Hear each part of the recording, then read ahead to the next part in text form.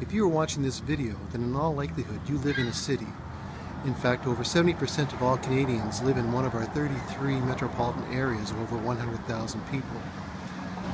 Yet so often we portray God as being the God of the mountains and of the rivers and of the streams and of the trees and of, of the forests.